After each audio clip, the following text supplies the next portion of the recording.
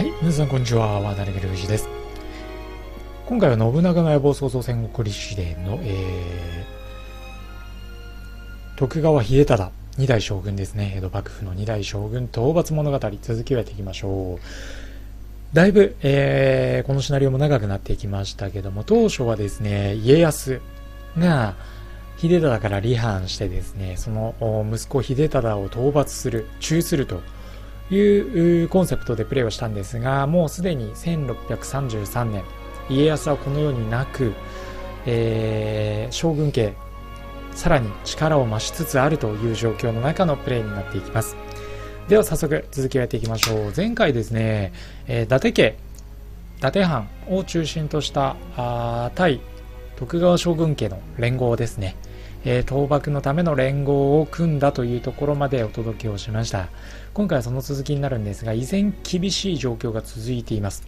まず武将の数がやっぱりちょっと足りていないっていうところとどこを攻めるにしてもやっぱりね、えー、将軍家の力非常に強いのでどうしても攻めあぐねてしまうというところがあるのでまずはですね真田家との連携さらには徳川があ、まあ、唯一対抗しうる力を持っている伊達藩ですね、えー、が南下してきてくれることをまあちょっとね期待しつつ戦力を蓄えていきたいと思っています。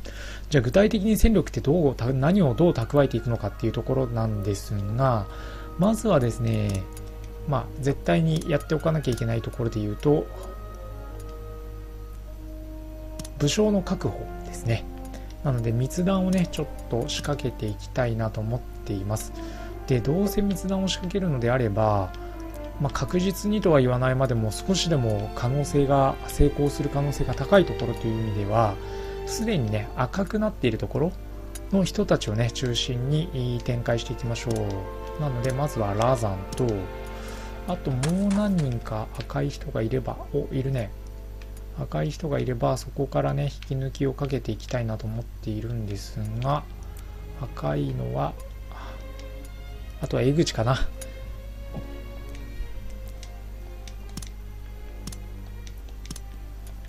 この2人に関してはもう確実に引き抜きが行えるように頑張っていきましょう。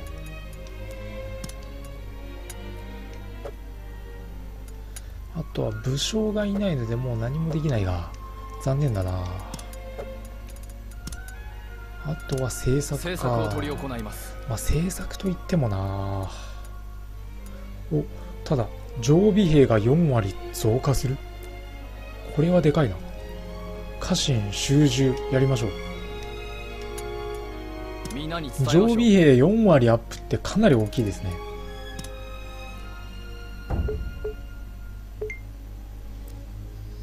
豊臣が尾張藩についに滅ぼされましたねもう尾張藩の方が何？長いなおかつが裏切ったか。ただでさえ武将の数が少ないのに他裏切りそうなやつはいないだろうな。ちょっと心配ですね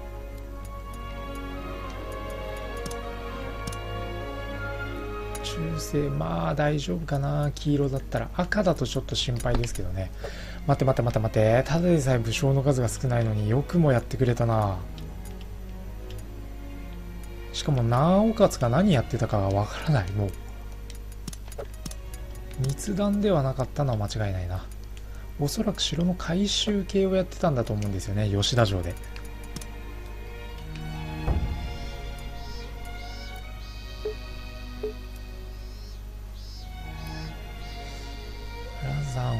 戦までは応じるか。いや引き抜きなんだよね。ご命令を先月の収支です。報告します。江口正義は内通を疑われているのでしばらく会うことはできないか。ってことは標的を変えましょう。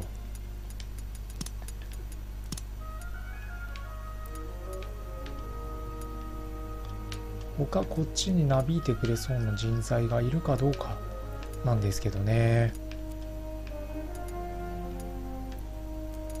あとは引き抜きに応じてくれる可能性のある。ところで言うといないね。やっぱ将軍家から引き抜いていくしかないのか。どうしようかな。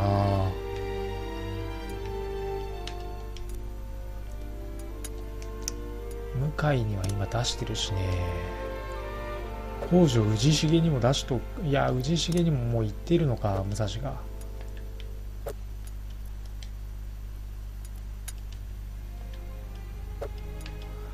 この先武将の数はね、えー右肩下がりというところにはなってきますからね。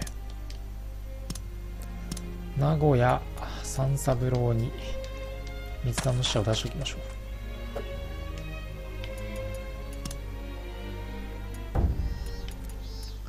敵の戦力の回復も早いねやっぱり。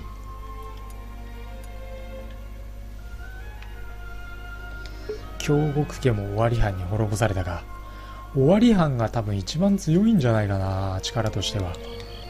ちょっと戦力比見てみますか。報告しあと尾張藩なんですが30万ですね。でうん徳川将軍家25万なんでやっぱり尾張藩の方が力がありますね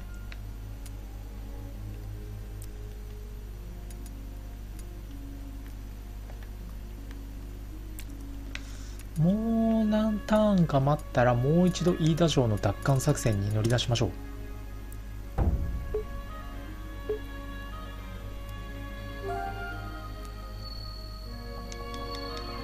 表情を始めます。先月の収支です。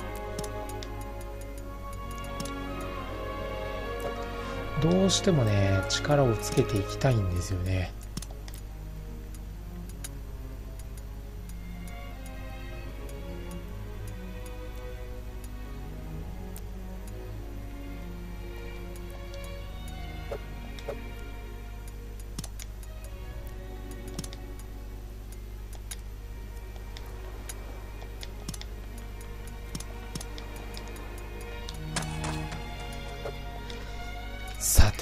したもんかな。駿府に3万の軍勢吉田城に2万 300? いやー厳しいなとなるとえっとまず浜松城の軍勢を吉田城へと差し向けましょう。で吉田城の方から武蔵自ら出陣。とでえー、駿府の方はというと掛川城から援軍を出しましょう。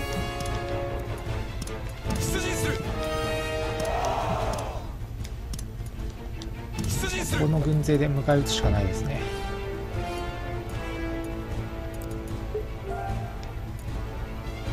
さらに駿府に2万5000か。数が多いな。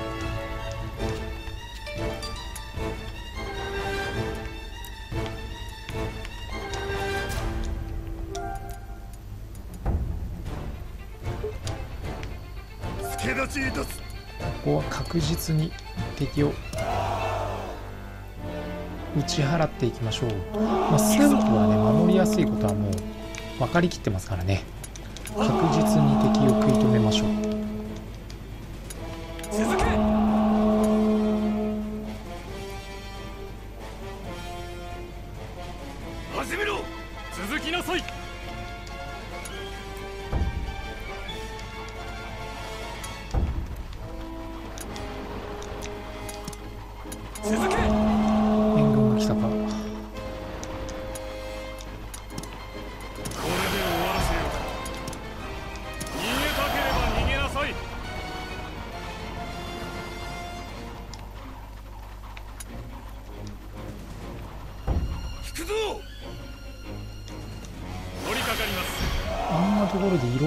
どうするつもりなんだ？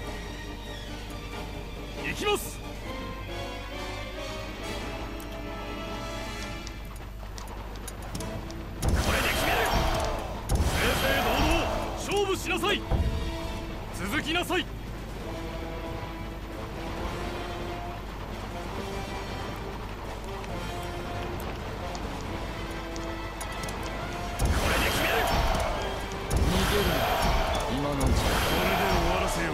今合戦中なんでねこのまま継続しましょう。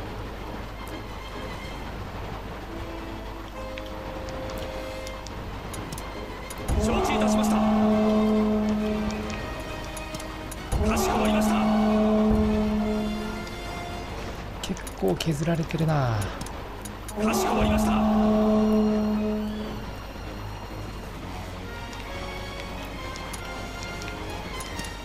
行くぞ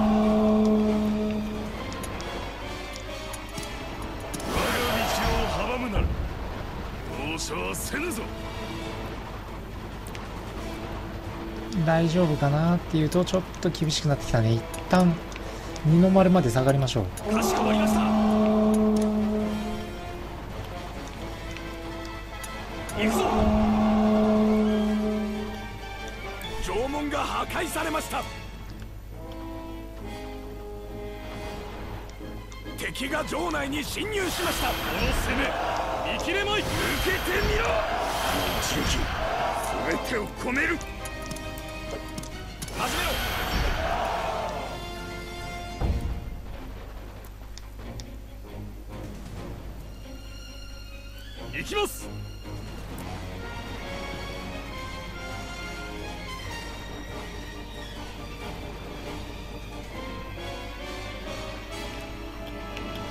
なんとかここはこらえないと駿府が落とされると本当にガタガタガタっとやられちゃう可能性があるんでね。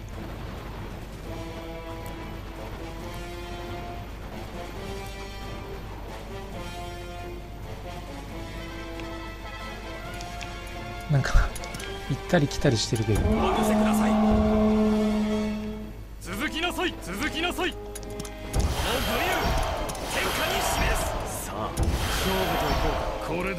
せようか。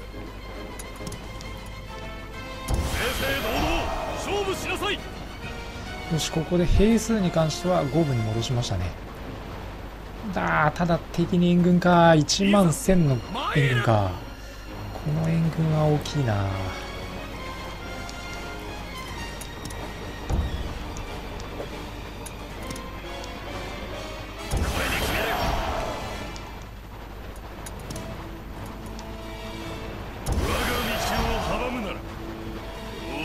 せぬぞ。行くぞ。うーん城門が突破されるな。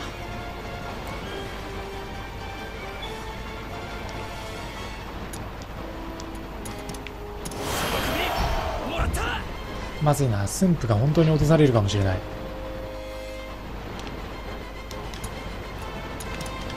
厳しいな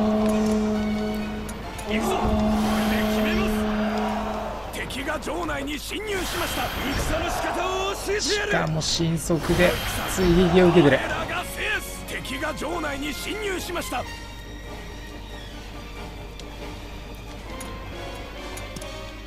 かしこまりました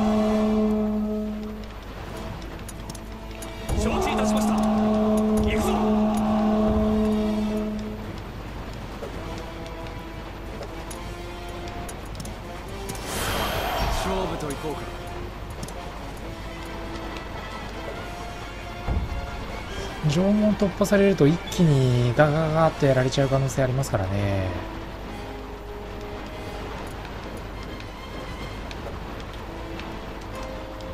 我らが行くぞとくとご覧あれ。こ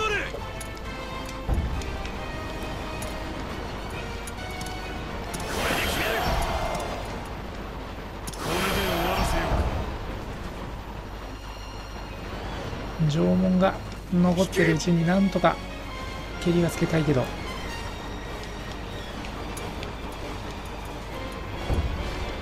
敵が城内に侵入しました。この軍略で敵を撃ちます。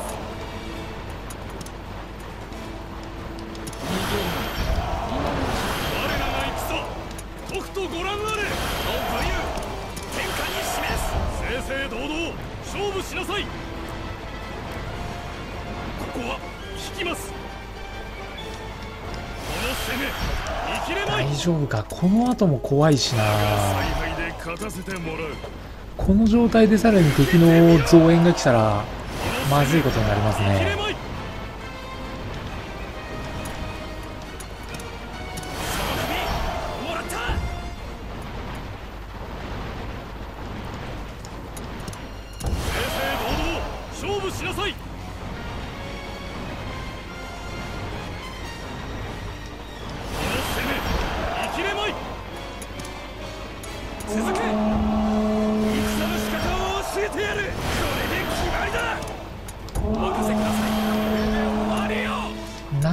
か今回は敵を退けられたもののこれで駿府にさらに将軍家の増援が来たら潰されますね。ここは引きます。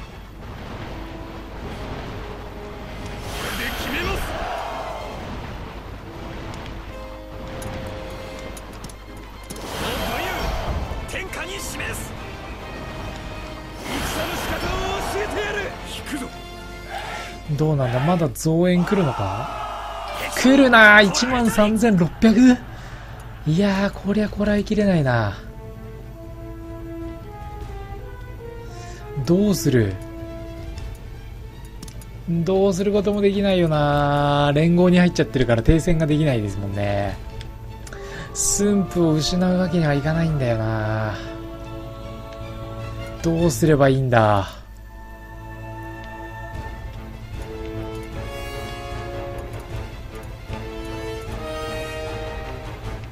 やー何も策が思い浮かばない。とりあえず徳川をこちらに移しましょう。武蔵だけでこらえてもらうしかない。い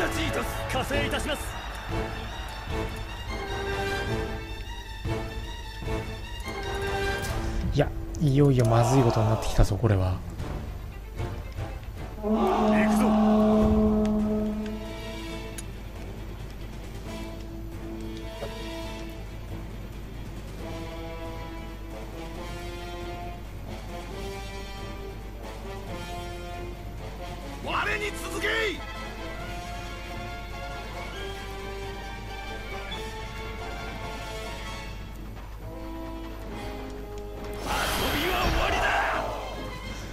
さか吉田城が攻められるとは思わなかったな。吉田城と駿府両方同時に攻められると脆いですよね。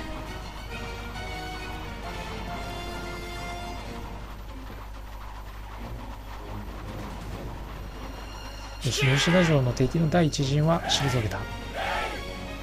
第二陣第三陣って迫ってきてるからな。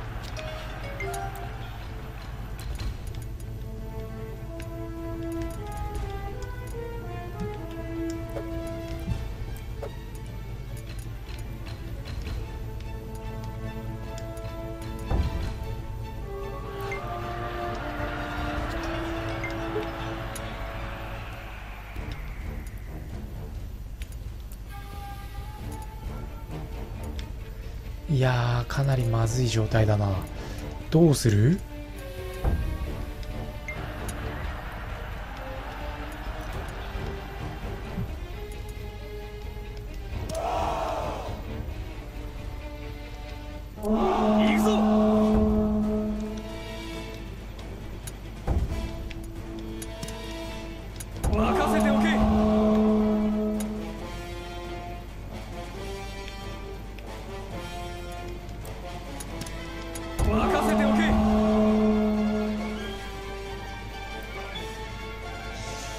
しかも立花宗茂じゃないか敵は。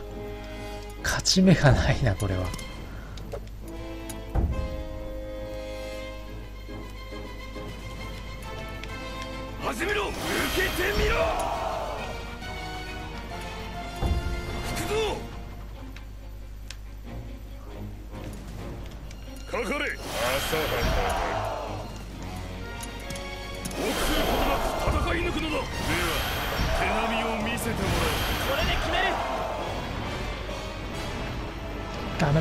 やっても駿府が落ちる。どうする？ちょっとなんか策が何にも思い浮かばない。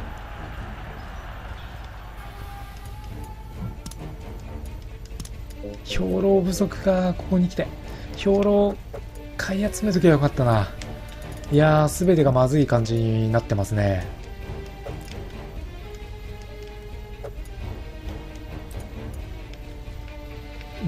とりあえず武蔵とか吉田城をまずは守りましょう。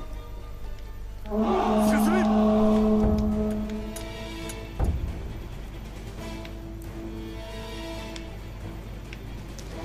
城門が無駄に4つあるっていうねこの吉田城。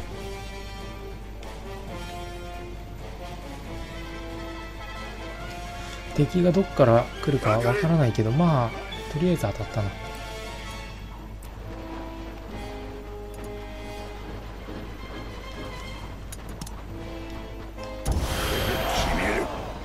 乱戦状態じゃないから奥義一戦の効果はないよね。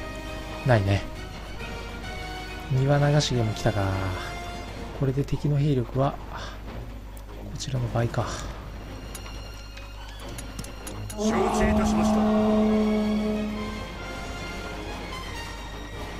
かかれ！あとは庭流し毛がどっから来るかですね。下から来てるな。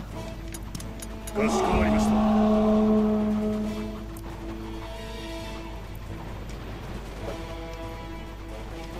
ました戸田も死んだか。さらに武将の数が減っていくね。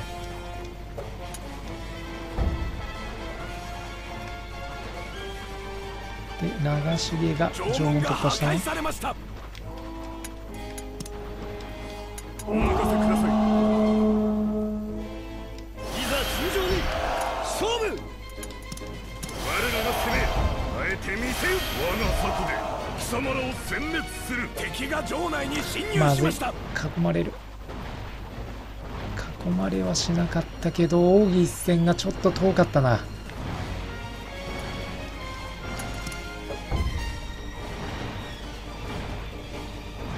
いやちょっとまずいな。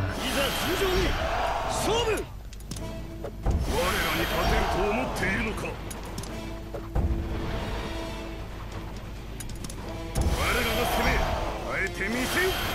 決めるバカな。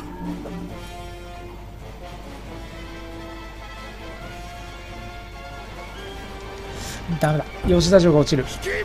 だー。もうちょっとうまく戦えたかなって感じはするけどまあどうにもならないね。あそこまで増援が来ると。う城が取り囲まれましたーん駿府に吉田城両方一気に失ってさらに軍勢の数も足りないが。表情を始めます報告します。先月のいやここに来て終焉か。なんとか方法ないのか。外交連合脱退。まずは連合の脱退だ。でその上で外交違う。要請。うわー間に合わないな。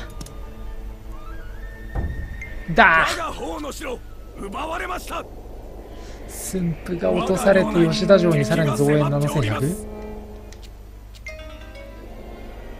うーんこれは盛り返すのは厳しいな。表情を始めます。報告します。報告します。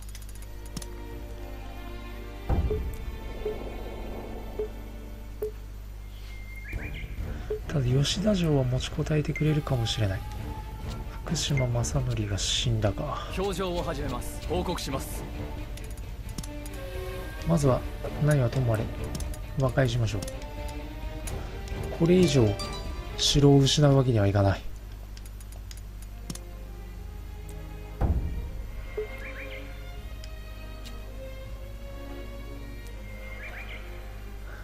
いや駿府をついに失う。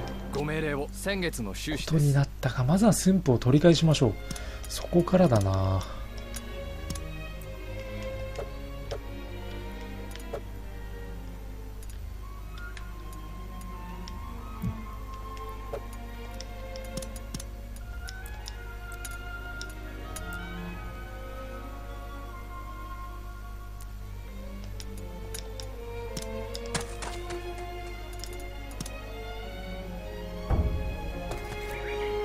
停戦が明けるまでに軍勢の数と城の耐久を戻さないと。ご命令を先月の収支です。まだ諦めないですよ。まだなんとかなるはずだ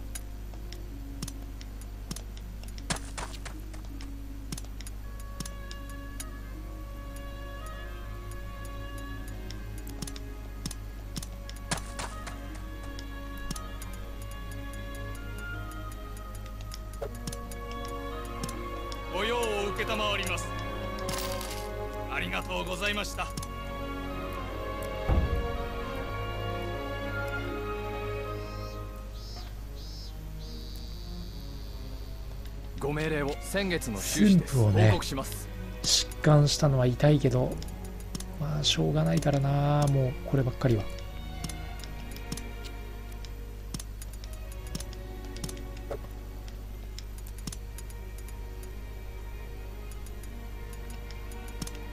築城とかしてもね取られるだけだからな。真田が滅ぼされたかいやー頼みとしてた真田も滅ぼされていよいよ厳しいな。表情を始めます。先月の連合からも脱退したしね。やっぱ連合に入ると和解ができないっていう意味では本当に一か八かでしたけど悪い方に出ちゃいましたね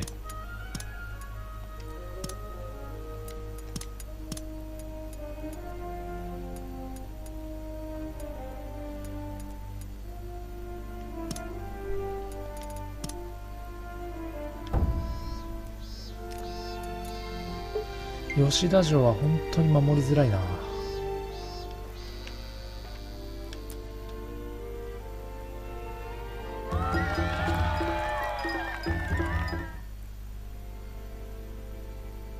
島津もだいぶね、でっかくなってきてますけど、島津がここにたどり着く前には終わり班も攻略しなきゃいけないし、まあちょっと期待はやっぱりできないかなというところですね。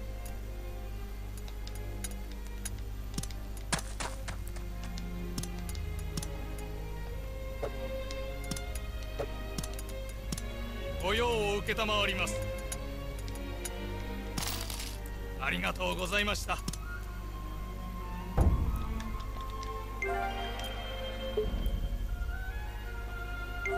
掛川浜松に関しては戦力がだいぶ戻ってきてますね。ご命令を先月の収支です。報告します。吉田城がちょっと全然軍勢の数が戻ってこない中1万7500の軍勢か。さらに浜松に1万1400いやーなかなか厳しい戦いが続きますね。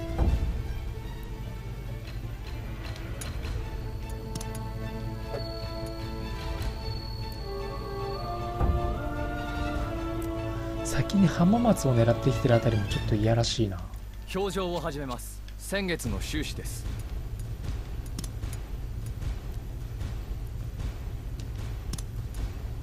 どうする？吉田城はうんどうにもならないけど